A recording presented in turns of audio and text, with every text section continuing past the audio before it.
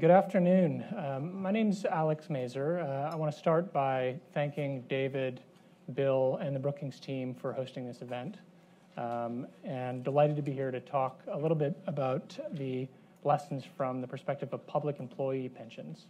Uh, and I have to say, I'm a, a, dual citizen, so I'm well aware of the cultural differences between the two countries and the challenges of translating something that works well in, in Canada into something that maybe doesn't work so well in the US. But there is one counterexample, which is my favorite baseball team growing up was the Montreal Expos, which didn't work quite as well north of the border, but actually translated very well into uh, the DC environment. So that gives me a sense of optimism for uh, our panel today.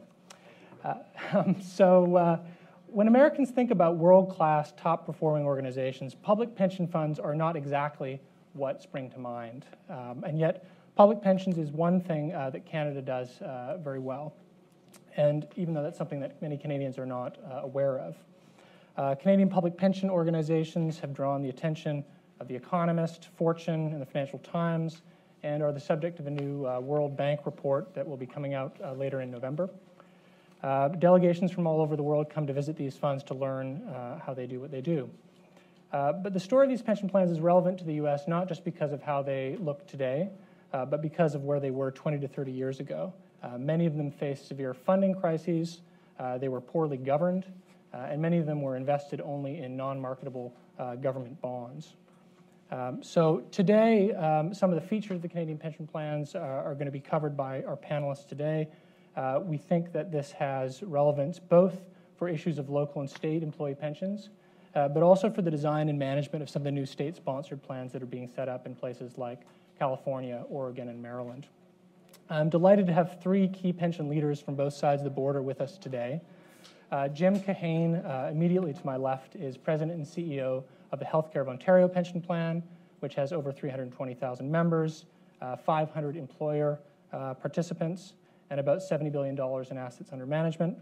Uh, prior to becoming CEO, uh, Jim was the organization's CIO, Chief Investment Officer, a role in which he developed a pioneering approach to liability driven investing and he also recently served on the advisory board uh, for the Ontario Retirement Pension Plan, which was supplanted by the CPP increase we heard about earlier uh, and was our version of a, a state sponsored plan. Uh, Hugh O'Reilly is president and CEO of OP Trust, which has uh, about 90,000 members in the Ontario public sector, uh, $19 billion of assets under management. Uh, before becoming CEO, Hugh was a pensions lawyer for both management and labor, including serving as board counsel for several major public pension plans and he also uh, uh, played a senior role in government at the time when uh, many of these plans were first being set up. Uh, finally, uh, Josh Gotbaum is no stranger to uh, the Brookings community. like Jim, Josh has a financial services background, having worked in investment banking and private equity. like Hugh, he's worked in government as head of the PBGC, which invests $85 billion US in Treasury and OMB. He's a guest scholar at Brookings and chair of the Maryland Small Business Retirement Savings Board. So, uh, in order to get our discussion going, we're going to try to have a conversation today. Um, I want to take us back a little bit to the 1990s, which when Canada was not in good financial shape. Uh, and starting with Hugh, can you tell us a little bit about what Canadian plans were like in the 90s and why they were reformed? Well, uh, thanks, Alex. And um, first of all, uh, one item of fake news about Canada I want to clear up. Whenever I watch the weather down here, you always talk about bad weather from coming from Canada, and I just the weather today came from Canada. We brought it with yeah. you. So I, I, just wanted to clear that up. And in that spirit, I do want to clear up a little bit about uh, the Canadian example. I think too often uh, when we're talked about as an example, uh, the present state is compared to the present state in the US. And I'm not sure that's the best way of looking at this issue. In the late 80s and early 90s, the Canadian public sector pension plan area was under a lot of stress. It was badly run, it was badly governed. Most of the plans were, with the exception of HOOPP at that time, most of the plans were essentially pay as you go plans. So the uh, employees put their money in, the government or uh, the government put its money in by just giving a piece of paper, essentially a, a non marketable government bond. What this did was created a lot of pressures as fewer people started, uh, as there were people retired, fewer people working. It put a cash crunch on it. Government responded by increasing contributions on both sides, but typically it fell to the members. This was a fight that the public sector unions got into starting in the, in the late 80s and into the 90s. Uh, it started with the teacher unions uh, fighting against this. That's what led to the creation of the Ontario uh, Teachers Pension Plan. It's also uh, a plan that's governed on both sides, uh, representatives on both sides. It's where the uh, OP Trust uh, came from, and there are other examples as, uh, as we go into the future. But the, the fundamental, and at the time, doing this politically, no one cheered this. we put this, and we were an unpopular government that I was part of for a whole bunch of really good reasons, but this did not add to our popularity. History has judged it as being the right thing to do, but at the time it was criticized. So, in order for this model to take place, you needed a series of ingredients. You needed the, uh, the members of the plan to take action and to push their point of view. You needed political will, uh, which was created by uh, the unions taking their action, and you needed to create a sensible governance structure and something that in the long term was fiscally prudent, which is difficult for uh, politicians. Yeah, Jim, do you want to talk a little bit about, because a, lot of major reforms to your plan happened in the 1990s, and what, what was a little bit of the origins of that? Yeah, so I mean, our, our plan's been in, was in existence since 1960, so it actually was a fully funded uh, plan. So uh, one of, the, one of the things that's interesting about HOOPP is that we're actually we're actually not a government entity. We're actually a private trust, we're, we're the which was created by an agreement between the uh, uh, unions and, and the uh, management of the hospitals in Ontario, but uh, um, prior to the 1990s, it was actually a, a, a solely sponsored by the by the by the um, by the employer, so the Ontario Hospital Association. Um, and there was some issues in, in the 1980s. The returns are very good, so the fund was in a surplus position. So the employers took a uh, contribution holiday and um, didn't share it with the employees, and so the unions didn't like that very much. And uh, so there was a, uh, court case happened around that, uh, and it ended up being a financial services tri- tribunal decision, which actually created the joint governance structure. So, so our board is set up, is made up of half of, of uh, appointees from uh, union representatives and half uh, appointees from management representatives. So it's, uh, but it is actually a private trust. So, so the it is essentially like a um, equivalent to a, a, mutual insurance structure. So the effectively the members of the plan own the plan. So, um, uh, so, so, and uh, what, what that, uh, that, that change in governance actually allowed us to move down a different path, which was uh, running, the, running the plan solely for the, the, the benefit, benefit of the members. Uh, which led us uh, down a completely different path in terms of how the plan was being run. So it was moved from uh, essentially a, an outsourced organization to one that we, where we started to run the money internally and, and, and do things that were really were in the interest of, of, ensuring that we deliver on the pension promise to members. But again, it was it was a rough uh, uh, transition. It didn't didn't take place uh, easily. It took a lot of uh, back and forth to get to where we got to. Now, now, Josh, you've done a lot of work in, in, pensions in the U.S. and you've had a chance to look a little bit about at these Canadian plans and, and the way they're governed, the way that they're run what would you highlight as some of the key maybe differences and similarities when you look at a Canadian plan versus a typical? Can we bring US? up your slide? What I think of oh, as yeah. your slide? oh, Where's the... Who's got the clicker? Oh. There we go. Nope. Let's try this. Next. There we go. Bingo. Okay. Uh, full disclosure, I'm the only member of my immediate family who is not a Canadian citizen. So um, I would say the important differences from U.S. practice are several, and I hope that we will discuss how they came about. Um, one that I'll start with, because I think it's really economically significant but is not, um, was not a, a, source of major reform, is that the actuaries in Canada are more conservative than the actuaries in America. And as a result, when you look at the discount rate that these plans use, it runs 5 to 6% currently. Uh, there are some that are that are some that are lower, et cetera. When you look at public plans in the United States, they have historically been higher and are moving down courtesy of the Government Accounting Standards Board. But they have still been sufficiently higher. I mention this because it is the, the source, the most important source of dramatic underfunding in U.S. plans. And, uh, and it is a difference which is structural and forever. And uh, Yusuf's point about apologizing to the actuaries for criticizing them, I'm not going to criticize the Canadian actuaries. But my friends um, in the American Academy, sorry, blew it. That's an important difference. The other important differences that, from my perspective, really matter is that the level of professionalization of these plans. And that does not mean that the American plans are not professional by any means. But it does mean that the American plans started from traditional government pay scales and organization, that their trustee programs were done, uh, were politically determined, that, and that led to political influences in the, the direction from trustees. And so I would say the, and the one that I hope we will get a chance to talk about uh, at, at some length is that whereas the American plans be kept pay low, in order to hire talent, they didn't call them employees. They called them consultants or managers of funds of funds.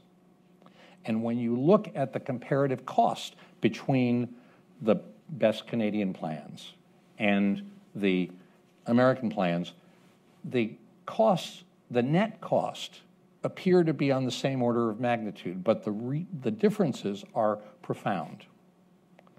And as a result, the Canadian plans have been able to engage in direct investment rather than doing what the American plans do. If the American plans want to uh, engage in infrastructure investment, they look around for a fund manager that says, we will gather investments for you, and they will pay that fund manager a fee on top of the, the cost of the investment. So there are very significant differences. I, and I hope we will talk about those and defer until later in the discussion how we get the Americans to pay attention to those differences. Yeah, I, I want to come back to the question of, of, organization and people and talent a little bit later because I think it's, it's critical. But maybe we can go back to the issue of governance, which was touched on briefly, and go a little bit deeper on that. Um, governance is often identified as one of the key drivers of performance in pension organizations. It's also a politically sensitive topic. Um, and I'd love to know from you, Hugh, how has the governance of Canadian plans evolved over the years? And what did it used to look like? And, and can you paint a picture of, of what it looks like today? Well, I think it, initially when these plans, before they became jointly sponsored, they were either uh, run as arms of the provincial government or or they were run by the employer associations. And the, the difficulty with that is the priority for the plan becomes uh, the interest of, uh, or has the potential to become the interest of the sponsor. So the government's objective is to minimize its cash, its cash outflows and its expenditures, and it, it uh, governs itself accordingly. Jim referred to uh, some of the past battles in the past where employers uh, took contribution holidays and employees didn't share in them when joint governance was thought of, which is like the equivalent of the Taft Hartley down here, there was an initial reaction that, oh my God, you're going to put uh, uh, working people at the table and they're going to do crazy things. They're going to want to increase benefits, they're going to want to lower contributions. God help us, they might even want to do socially responsible investments. This was the, the fear that was articulated. Well, what ended up happening is, first of all, uh, uh the individuals who represented uh, their members, fundamentally they understood their role was to represent their members' interests. From a legal point of view, a pension plan's obligation is to its members. So immediately they went there with a mindset that wasn't focused on short termism or just trying to do things that were politically expedient. I think that was important.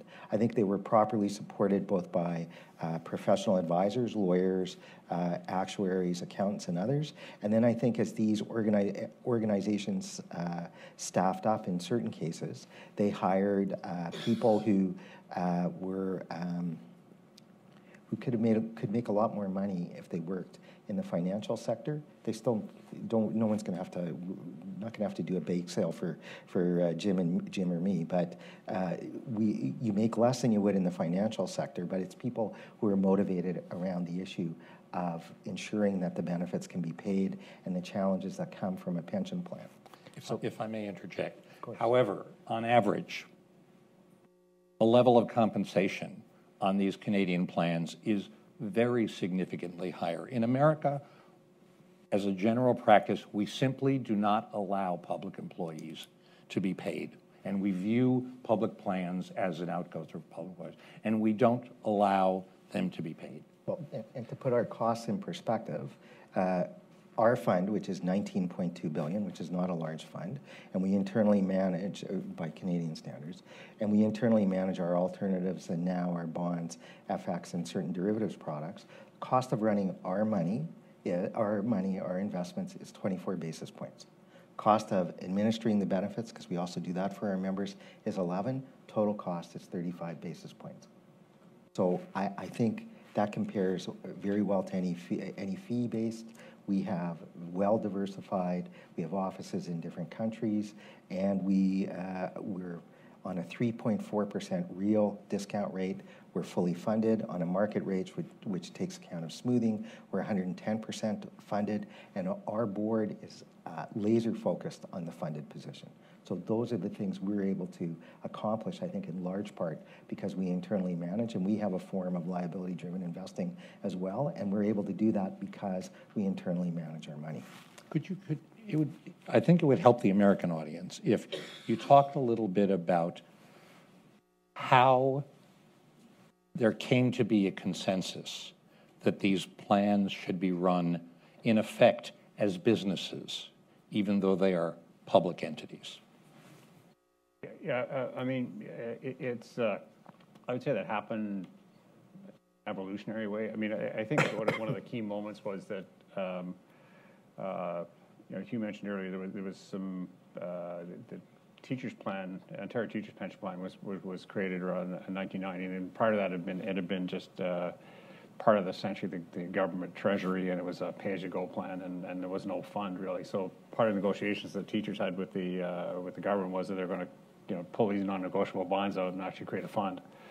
Uh, so it would be a properly funded plan. And uh, uh, when they set up the governance structure, the, first uh, chairman of the board was uh, a gentleman named Gerald Bouey, who had previously been the governor, uh, governor of the Bank of Canada.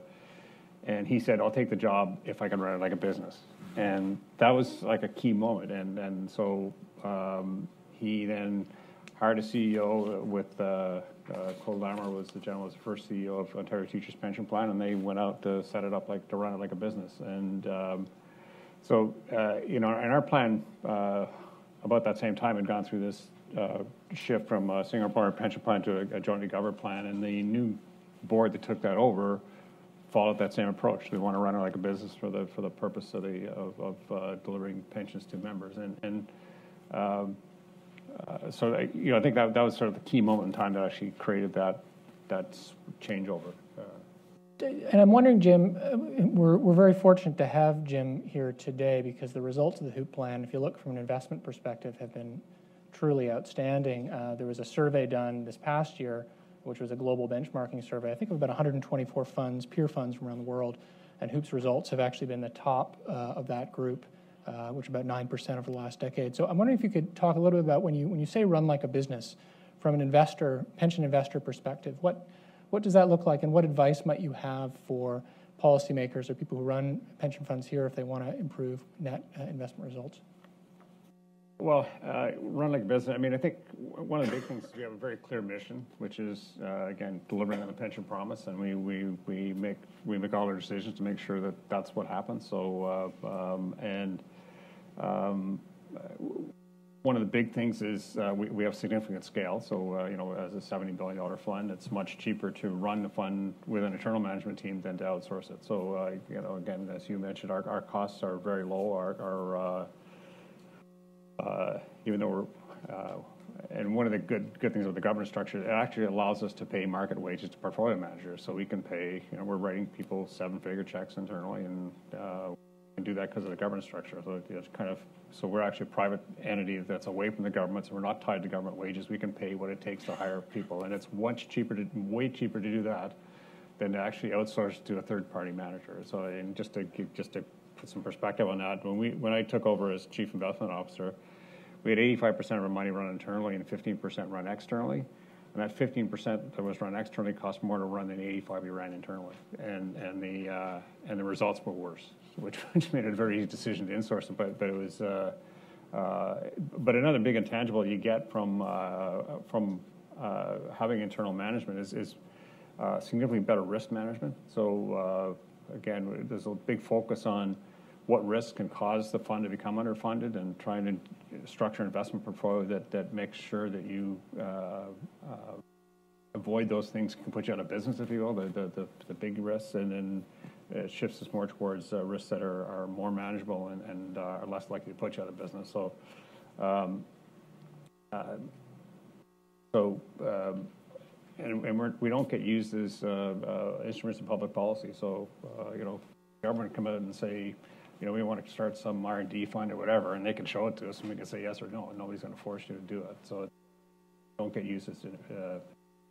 but we are able to, to attract and retain top talent. So, you know, I think one of the keys to success are to have good independent governance, uh, have a clear mission, and be able to attract top talent to actually uh, execute on that. And uh, so we are, we, we, you know, we're not the highest payer in the market. Uh, as you mentioned, I mean, people can probably make more money going work for a hedge fund or something, but, but, uh, they don't, uh, for a lot of reasons. I mean, uh, we we tend to try and hire people that have sort of more of a public-minded view or and uh, think long-term, uh, and um, you know, working at a, at a, place like ours is, is great because you have a locked-in money, so you don't have to go out marketing and try to raise money all the time. So, which is if you're in the hedge fund world, that's a more your job spent doing that than actually running money. So it's so it's very attractive to some people to actually come and work for us. So we we're not necessarily the highest payer in the street, but we want to be in the ballpark, and and the compensation's tied to uh, tied to results, which. Uh, a lot of times when you're hiring outside managers, you pay them whether they do well or not. So, uh, so ours is actually results.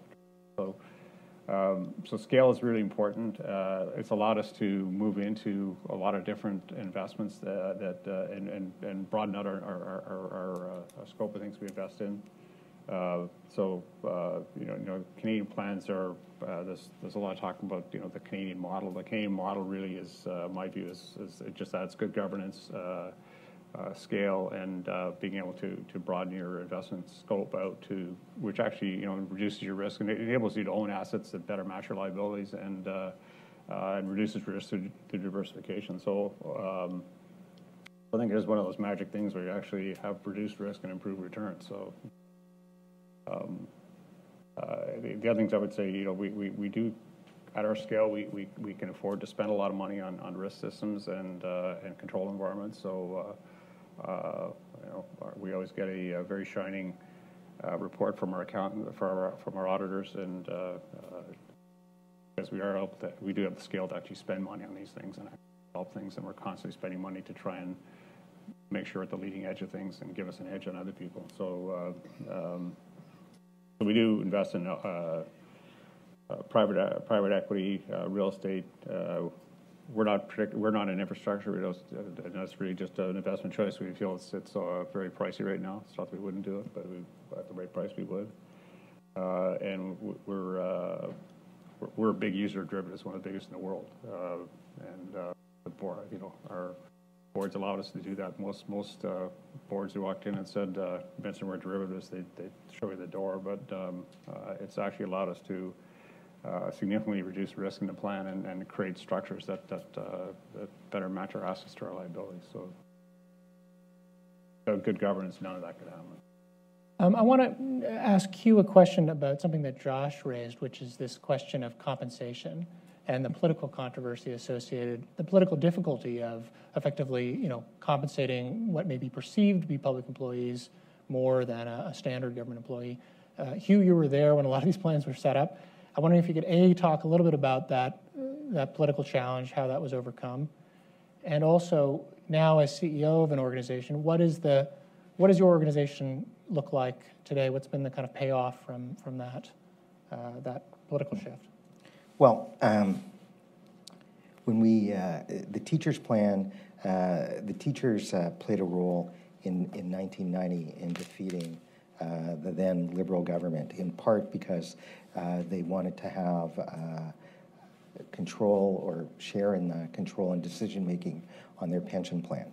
And we then they negotiated with our government, and we implemented the teachers' pension plan. I, I, well, I, probably, I, I mean, I remember getting handed the deal and asking me what I thought about it. I mean, I, anyway, I don't know why they asked me, but leaving that aside, I, I thought it was fine, I guess.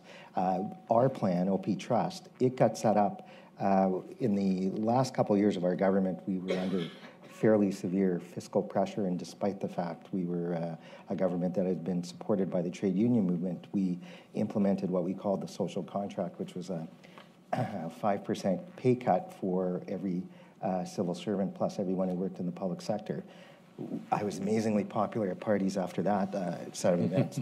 but one of the things that the union sponsor of our plan did, it had been fighting for a generation to get control and a say in its plan. It put that on the table in negotiating a deal. That's where the joint governance for OP Trust came from.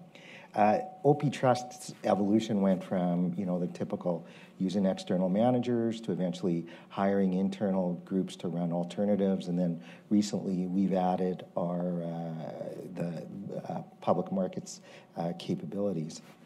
And I think the evolution of these plans is all been based upon, there's been a lot of learning from mistakes. There were contribution holidays, benefit improvements taken in the late 90s around the turn of the century. Those proved to uh, be problematic to maintain after the global financial crisis. So there was a need to, in some of the plans, to increase contributions or or to, or to decrease be, uh, benefits. Those have happened our compensation structure, uh, because we internally manage, we can have alignment between our investment teams and our members. So uh, my, uh, our compensation is based on three factors. One is maintaining the funded position of the plan over 100%. Second is, as compared to a, a, reference portfolio, ensuring that we take less risk. And three is preserving the surplus in the plan. But one thing I want to be really clear about, periodically there are controversies about uh, compensation in the Canadian pension plan. Some plans don't disclose their compensation. Uh, we do. Uh, one of my sponsors is the government, and one of my sponsors is uh, is the Ontario Public Service Employees Union. So from time to time, they raise issues around uh, compensation. But the fact of the matter is, all of the plans are well governed, including ours, from a compensation perspective. Compensation advisors advise the board. They're independent. They make sure proper market studies and analysis is done. It's a competitive marketplace, so we have to make sure that we have the right people there doing the right job. But we measure our success based on our funded position, maintaining the plan's funded status, so we provide our benefits at the current price and at the current level. We call that paying pensions today, preserving pensions for tomorrow. And second, that we do it in a way that's cost effective, which is the 35 basis points all in.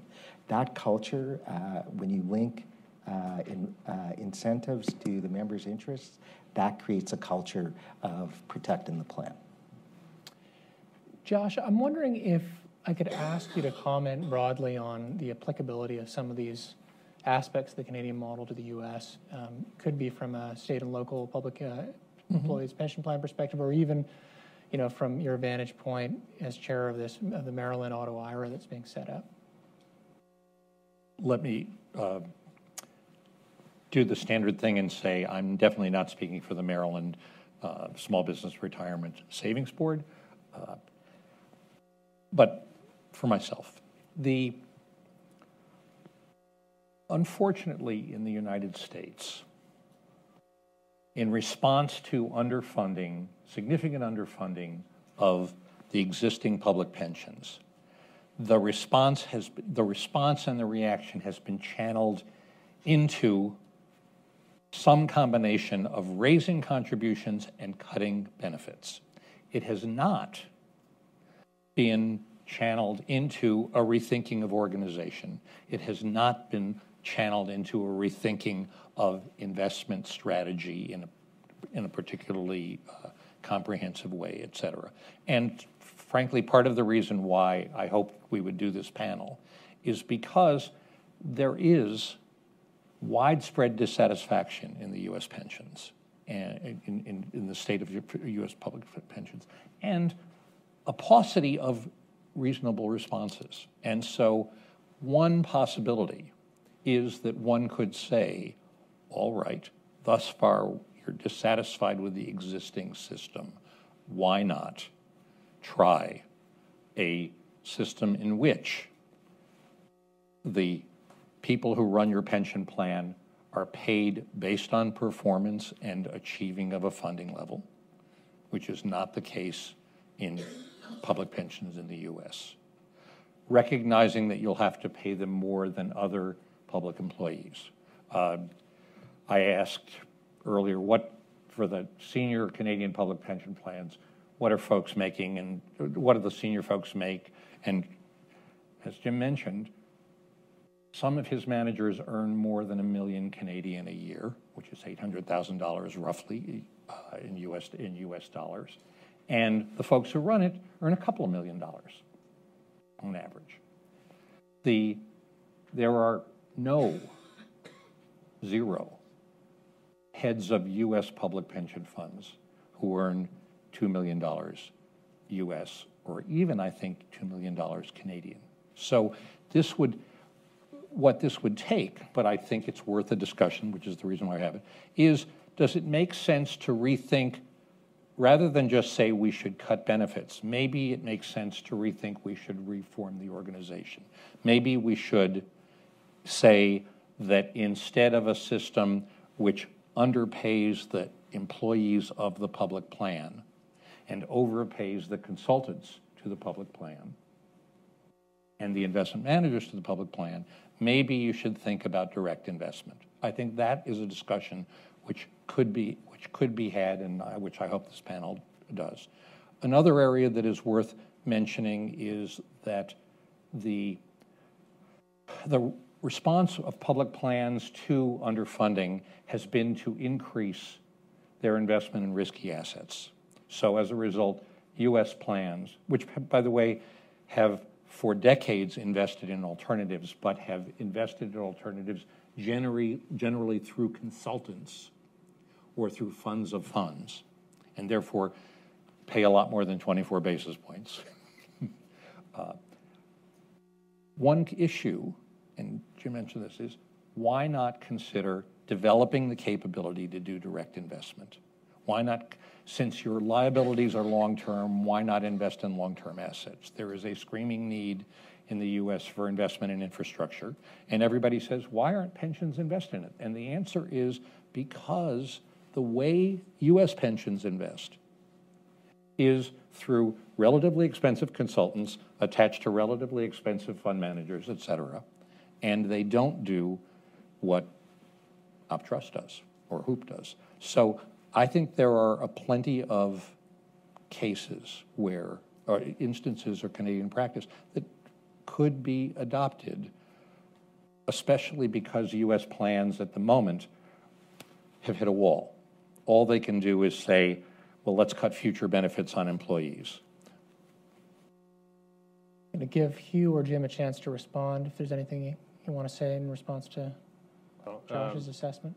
Yeah, no, I mean, it, it is much more effective to run things internally, not just from, uh, I mean, cost is one driver, but the returns will be much higher as well, just because you're, you can directly invest in assets that you otherwise would be intermediating through other people's balance sheets, and you pay to use the balance sheet. So it's, it's, uh, you know, so we can directly buy buildings. I mean, enough, I, I ran into one of our portfolio managers on the way down on the plane today, and uh, we were, I went with him and we looked at a couple of things we're developing in Washington right now. So we're building something called the, the Boro at Tyson's Corners, or we know what that is. And Anthem Row, which is right at uh, 7th and uh, uh, 9K, right across from where the uh, Apple's rebuilding the building right now at the, uh, not the uh, former library that was there. But, um, uh, and, and we can, we, we're investing in these kind of things. So, so we, we, we directly do these deals and we directly build buildings and they fund, but we would, our returns would be much lower, no question. Uh, but, uh, um, sorry, what's my thought here? Um, But, you know, one thing I wouldn't make light of is uh, when you're trying to move in that direction, there's a huge vested interest in the financial services sector to not have you do that. Um, And uh, because they make a lot of money off U.S. state pension, so they're charging those fees and they're, they're the beneficiary of it. So believe me, you're going to fight an uphill battle when you're trying to do this. Big vested interest in not having you do that. So um, fought that battle too, so. Yeah, one, one common theme from the presentation from Hassan this morning is, I think the, the time it took to build stakeholder consensus around some of these changes was not something that happened overnight, and unions were involved, and governments and, and others uh, supporting the change. Um, Want to give a chance uh, for folks in Sorry, the Alex, audience, but, but first uh, but give but you a it's, chance to respond. I think it's a continuing, it's a continual process.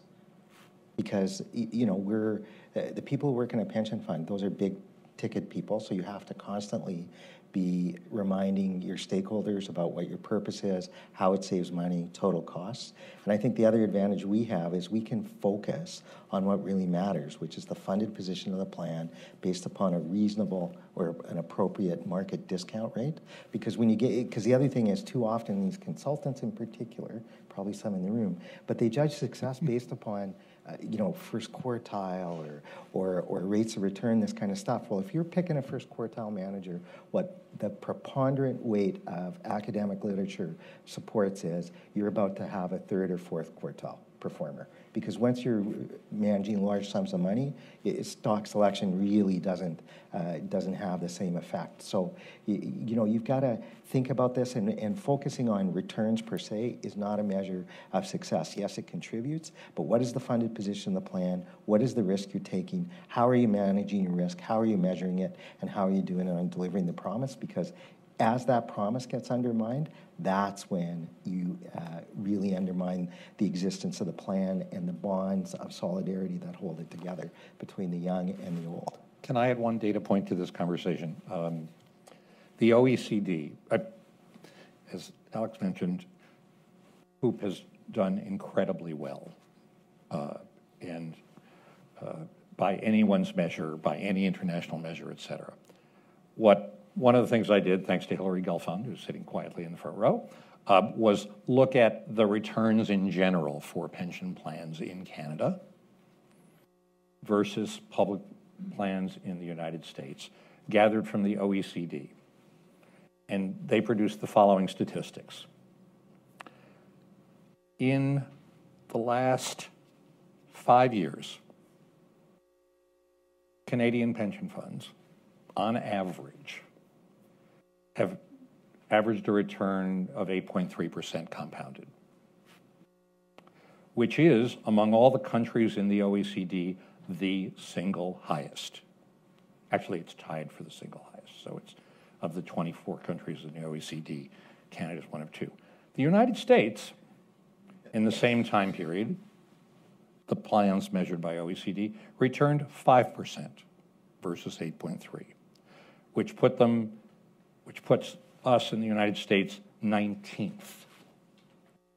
So, furthermore, also, thanks to Hillary, did a, um, a comparison of the variability in returns, which is one measure of risk, of a couple of the major plans versus for the sample of public plans.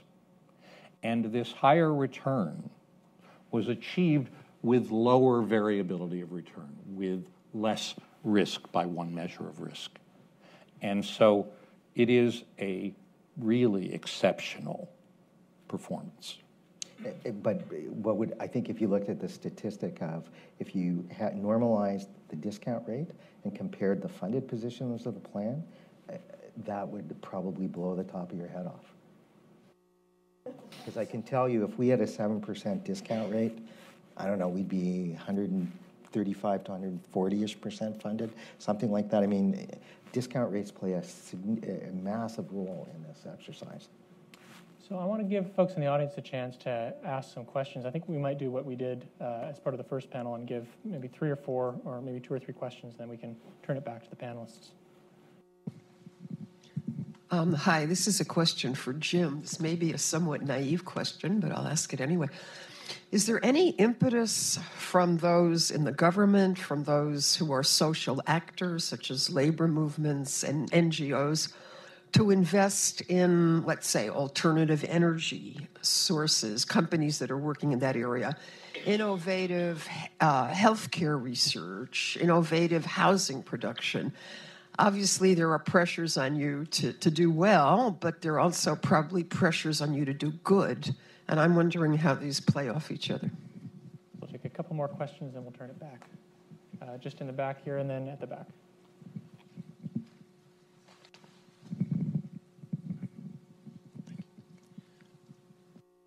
David Fraser from the Pew Charitable Trusts. Wondering if you could talk a little bit on the subject of risk about um, shared risk. And I'm thinking specifically of New Brunswick's shared risk pension plan, but how widely accepted those principles have been in the public sector uh, pensions. Great, and then one more in the, in the back.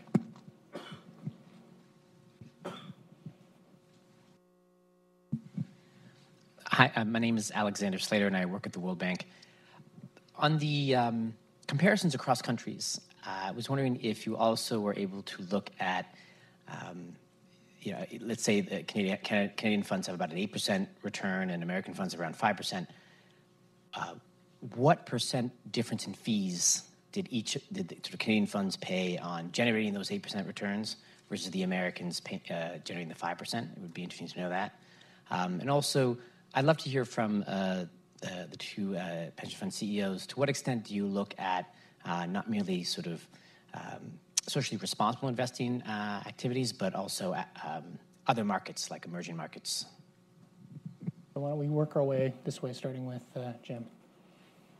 Um, Yeah, I- I mean, we do, there, there's uh, a lot of discussion out there these- these days on uh, environmental, social, and governance factors, and, and we do take those into consideration in our investment activities and have for some time.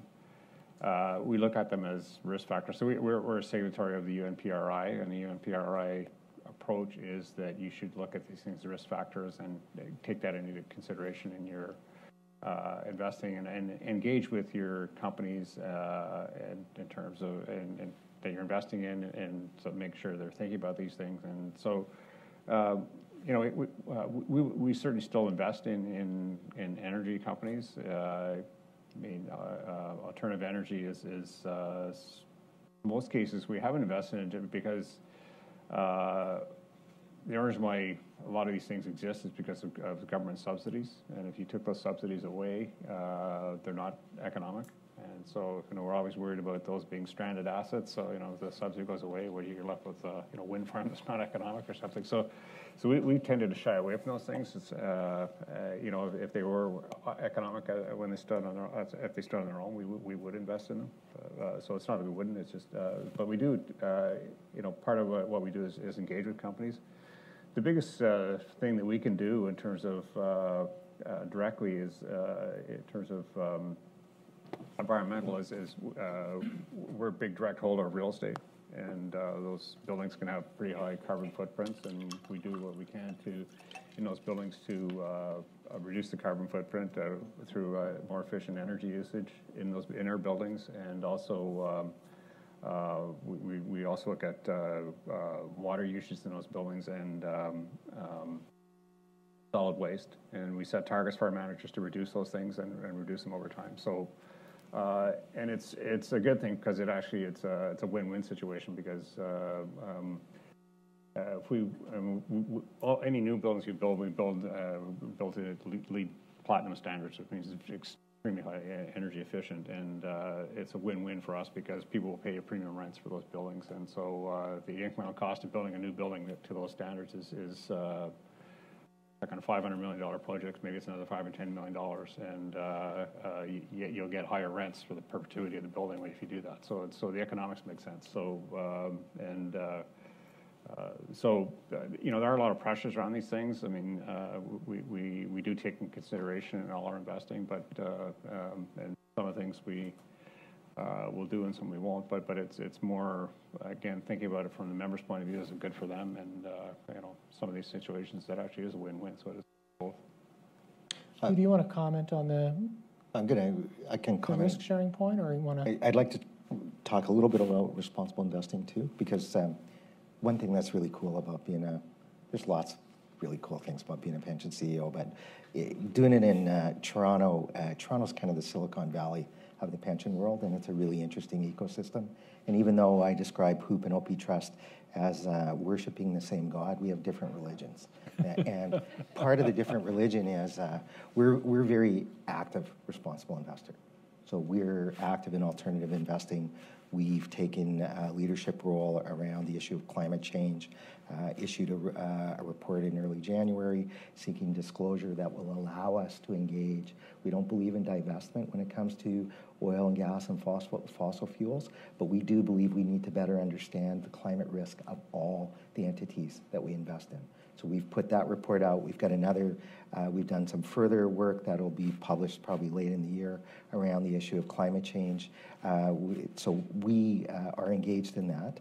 We also have an incubation portfolio that we've established. It's about $300 million, about a point and a half of our assets notionally, where we want to um, within the fiduciary context, of course, we want to look at different investment uh, approaches, the innovation economy, the disruption that, that's coming, so we can learn from it, make us better, help us better understand our investments, and really break one important part of the cycle that's going to change as a result of disruption. Investors value tangible assets. In the world that we're in now, intangibles play a role. We have to figure out how to invest that. Uh, New Brunswick, Alex is asking me to do that because uh, the New Brunswick model I fundamentally am opposed to. That was a significant uh, uh, benefit reduction for employees there, changed it from a final average plan to a career average plan. Uh, the employees bear the, the risks fundamentally there. Our jointly sponsored model, there is a, a risk sharing. The, the employees and the employer share the deficit and they share the surplus. If there's a deficit in our plans, our members are 50% responsible for it. That's part of the reason why, when we manage our assets, the member interest is taken into account, and we don't want that contribution level to go up. New Brunswick was in a tough circumstance. They thought that was the best answer, but I, I'm very uncomfortable with uh, target benefit plans because of uh, it puts too mu- much risk on individuals, and someone who is, say, 40-ish or 45, 20 years of service in those plans suffered a loss. And then the, I guess the last thing on emerging markets, uh, we have quite a bit of public market exposure. Well, about 10% of our assets would be in emerging or developing markets. This is an area of interest for us in alternatives as well. Um, so, and I wasn't saying you guys weren't responsible Hugh. Hugh, just to be clear, your, your benefits are not variable, but your contributions can be affected. Well, if our, if our sponsors agreed to change benefits on a future-oriented basis, they could do that. Right, but, but, but what happens is, if your performance somehow went very badly, there would be, first order would be a change in the contributions. Probably. That's into the- historically been the case, yes. Yeah, it's, it's one of the, I- the New Brunswick example has come up a fair amount in the US context, but that's not the first shared risk plan that's been introduced in Canada. It's been around for a while, and I think, Jim, you want to comment on that as Yeah, well? I mean, HOOPP's been a shared risk plan from day one, uh, so since 1960. Uh, So, uh, and it's actually, we actually have um, flexible benefits as well. So the board does have the ability to, to alter some of the benefits, and the main one is, is uh, cost of living adjustments. So we do intend to pay cost of living adjustments on pension payments, 100% of CPI. Uh, But the board has, has the ability to take that to, to uh, no- no benefit, uh, uh, uh, no, no COLA adjustment. We've never actually done it to take it to zero. We have taken it to 75% of CPI a couple of times when we faced funding challenges. Uh, It's a very big lever because it actually can improve your funded position by about 20 off the table. Uh, And it actually is, uh, the other thing that does is it- is it actually allows you to, to the, have the pension sharing some of the risk, because the people are in retirement, because otherwise, all the risk is borne by the active members. Uh, So that's the, the one place you can actually shift some of the risk onto, onto the retired population. So, so it- when you look at it on that uh, basis, uh, the, the employer is actually only, uh, uh, the only obligation the employer has, so, so again, uh, our, our plan is actually uh, not a government guarantee plan. So the government has no obligation, so if we have an underfund, they have no obligation to make that, that deficit up. They- It's really up to the board to just figure out how to do that. Uh, and uh, uh, that can be done through reduction of benefits or increasing the price to the to the to the employer. So the only the only obligation the employer has, we can we can increase the contribution rates going forward, and they they, they would have an obligation to meet that. So, and our plan is also voluntary, so the employer doesn't like it, they can leave. So, so it is. Uh, there's a lot of shared risk in the plan, and, and actually about two thirds of the risk is actually borne by the members, about one third by the employer. Josh, you want to just comment briefly on the fees issue that was raised? Because I know there's been a little bit more focus by governors and, and pension plan trustees on that Okay. I'll try, I'll try to be brief, brief on this one. Uh, full disclosure, I used to be a partner in a private equity firm. And what that meant is we went to institutions, including a lot of public U.S. pension funds, and said, if you invest money with us, we'll make you money, and we will charge you according to the usual rate, which was, which, the shorthand for which is 2 and 20. 200 basis points on whatever you invest with us per year, and 20% of any profits we make. We were more responsible than most, so we said 20% of any profits we make above a benchmark, which was your discount rate. In that case, 8%. Um, So minimum cost of 200 basis points, right? Did you hear what Hugh said his costs are?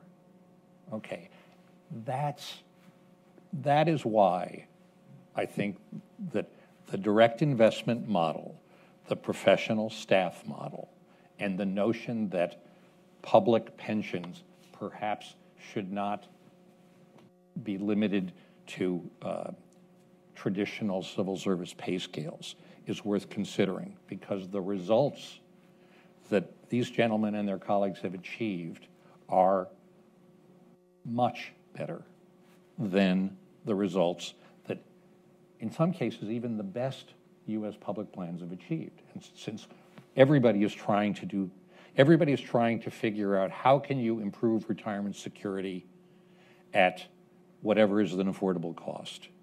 This is a model that's worth considering.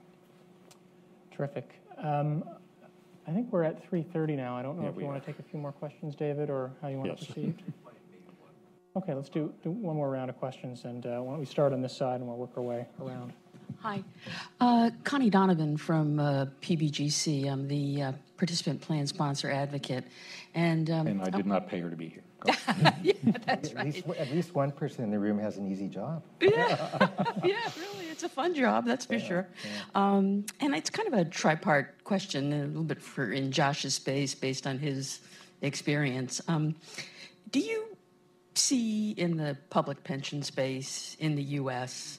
any bright spots that are somewhat mirroring what you're seeing uh, on the Canadian side? So that's kind of question number one. And question number two is. Um, do you see any lessons on the Canadian side that can be learned with our ERISA covered, eroding defined benefit plans um, in terms of uh, best practices, uh, regulatory changes, policy kinds of changes? And then the last question, and I'll stop, is um, do you see any possibility of a public private sector uh, kind of relationship?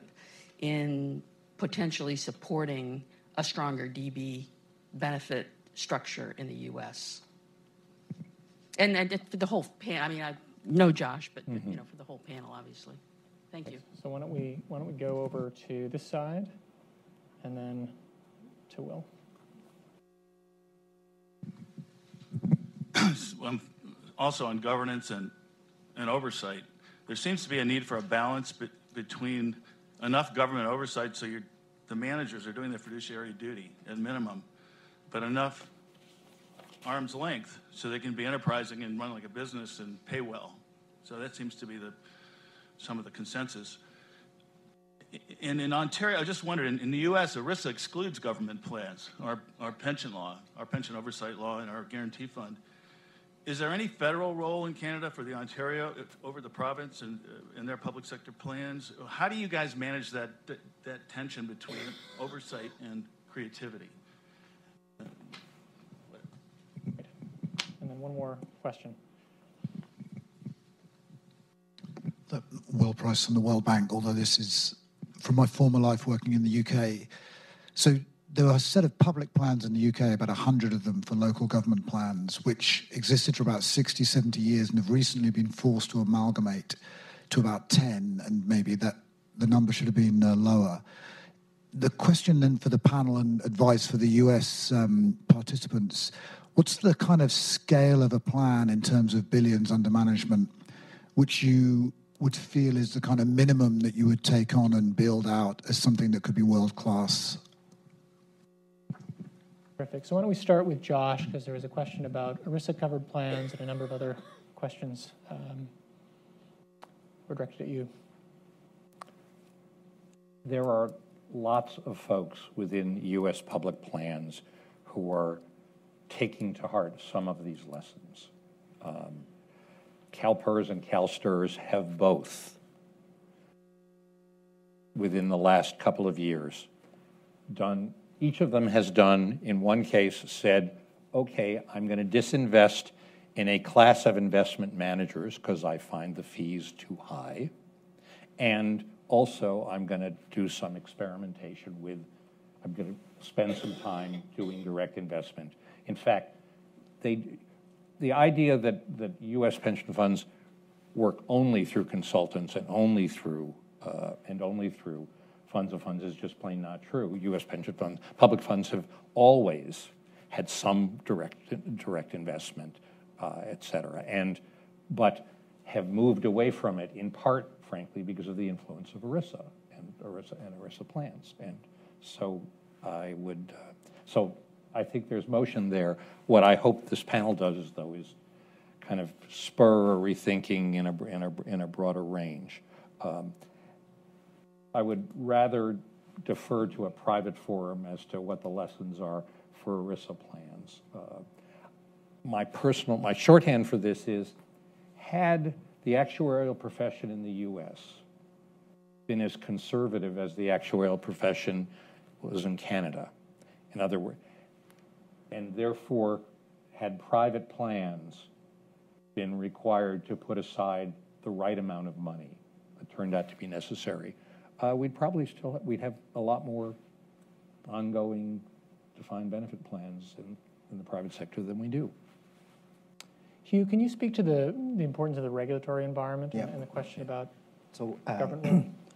Uh, I could take you through the delights of Canadian constitutional law, but um, which is interesting. It's quite different than yours. But uh, under the Canadian law, uh, federally regulated institutions are the only ones subject to federal pension legislation. So it's a small part of the economy: airlines, uh, railways, telecom, thing, uh, uranium mines, stuff like that. Uh, so in Ontario, uh, uh, organizations like ours are subject to the Provincial Pension Benefits Act and the Federal Income Tax Act. Income Tax Act really speaks to funding issues. So we're subject to, uh, we're, we're, we're given certain breaks under the Pension Benefits Act. They're less unique than they were. We're required to fund on a going concern basis whereas in the private sector, there was a solvency uh, basis uh, to them. Both of our plans are, uh, are well funded on a solvency basis, I, I would point out. Um, governance and oversight and those sorts of things, I guess, comes down to, for me, three fundamental issues. One, trust. We can, uh, you know, set up, we can have a guard in every room. Absent trust, we can't make the governance work. Two, clear, clear criteria to hold us accountable. And by us, I mean management. And that to me is why funded status matters. We can talk about first quartile performance, I outperformed this plan, whatever. You know, doesn't really matter. What matters is what's our funded position, how well have we done protecting it. And then three, I think it's the issue of how transparent, how open uh, management is with the board and telling them the good and the bad. Those are, eh, those are the, the three key things that I, I see. Perfect. Jim, do you want to speak to the scale question? Uh, yeah, yeah, we've actually had some few discussions with some of the UK funds on that, and they've come to see us. But, but the, uh, you know, I think the, the, the important uh, thing in scale is, is getting to the size where you can, uh, the, uh, the economies of scale make sense to have in-source your management. And in today's world, that's probably somewhere around 20 billion. Uh, uh, you know, I think Hugh's just getting the threshold at that level right now, and then they're starting to insource things. But but it, it's um, um, It's probably a moving target over time, but it's, it's, uh, you know, I think when we first did it, we were less than that, but the markets are much smaller than it. So, uh, you know, certainly, uh, I, I would think uh, ideal size somewhere, to me, is somewhere between 30 and 50 billion. Uh, uh, You know, I think that, you know, in that case, you're big enough to insource your, your, your asset management, you're able to uh, have scale to get get involved in a lot of different activities that you couldn't otherwise get involved in, but you're not too big, you're gonna move markets around things. So, uh, you know, when you get up to, you know, three to 500 billion, mm, I think you start getting uh, discounting of scale. So, uh, you know, there's, there's a sweet spot in there that you wanna be in. Just one last comment from Hugh. Yeah, I, I just say a couple things. First of all, we have internally managed our alternatives for a dozen years, and we did it probably starting at nine or ten billion dollars a year. You'll often hear that you need to have massive, massive scale to be in the alternatives.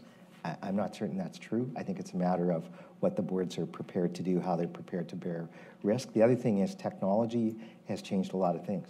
We have we now internally manage our bonds, FX, and eh, we're adding derivative products. We're able to do that because we outsource our middle and back office to our custodian. And I think, I I mean, Jim makes, Jim is without question the best, in my opinion, best pension investor on the planet. And I, I take seriously the things he says, but innovation also comes from smaller players.